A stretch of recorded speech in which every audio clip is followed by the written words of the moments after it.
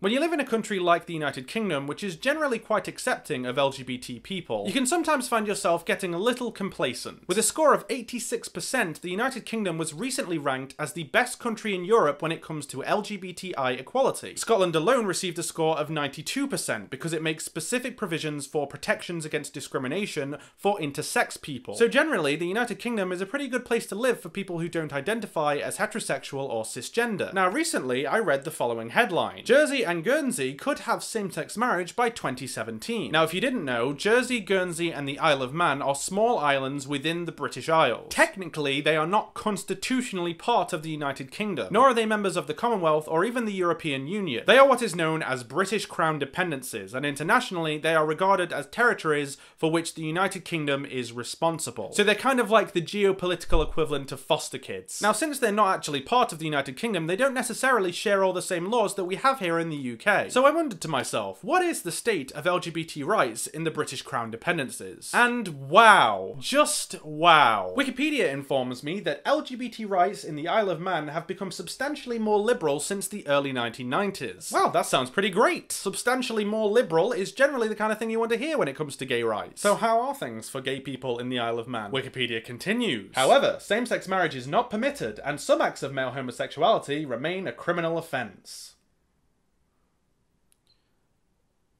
What? So I took a gander at the section regarding sexual activity and found the following. Section 9 of the Sexual Offences Act 1992 continues to apply the criminal law to some unnatural offences between men. Subsections 1 and 4 make buggery and gross indecency between men offences if one or both of the parties is under 16 and also if the acts are committed elsewhere than in private. Now you might be thinking to yourself, Jacob, that's kind of weird, because generally public sexual activity is a crime whether it's homosexual or heterosexual. What gives? Well, Section 10 of the Sexual Offences Act states the following. An act shall not be treated as done in private if it is done where more than two persons are present.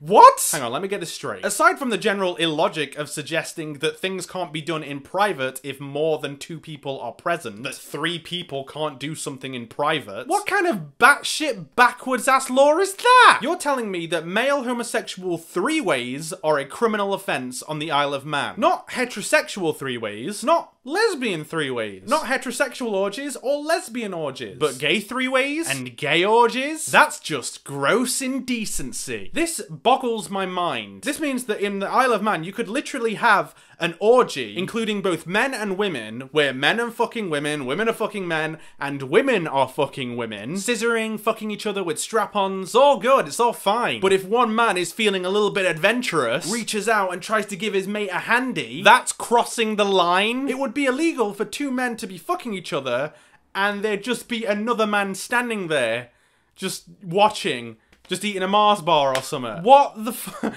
What on earth? This is so bizarre and super homophobic. Technically, it's gay men ophobic because lesbians are fine. Lesbians fucking each other, that's not gross indecency. That's art. Two women exploring their bodies with each other. With Katy Perry's I Kissed a Girl playing softly in the background. That's not gross. It's beautiful. Hang on, is Keith tickling Mark's balls? For the love of God, somebody call the police! But wait! There's more! Of course there's more, why wouldn't there be? Reading from an article entitled Homosexual Offences and Human Rights in Isle of Man on jurist.org, the 1992 Act also maintains a total prohibition on homosexual sex aboard merchant ships. What? The provisions that partially decriminalise buggery and gross indecency do not apply to members of crew aboard a Manx merchant ship. Merchant ship means any ship registered on the Isle of Man that is habitually used for the purposes of carrying passengers or goods. Any consensual act of buggery or gross indecency between adult men serving as crew on a Manx merchant ship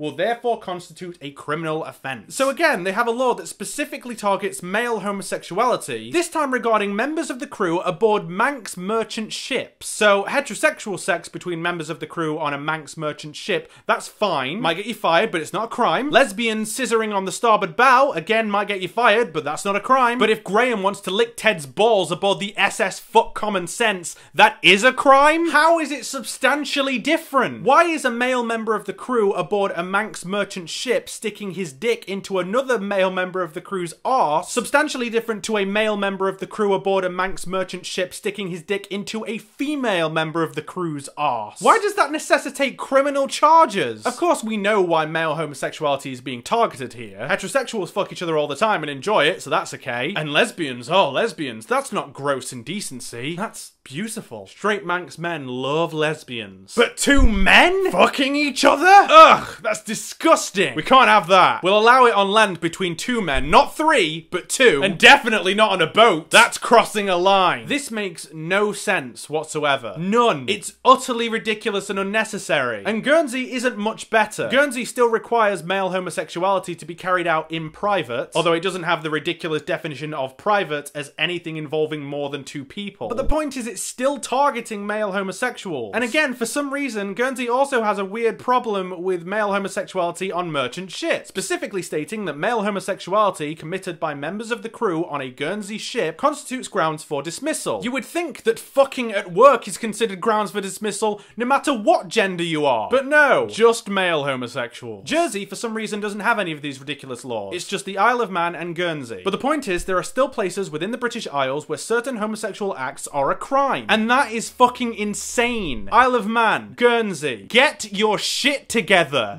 What the fuck? And yay for gay marriage in Guernsey and Jersey. Go Channel Islands. Thanks a lot for watching, everybody. See you later.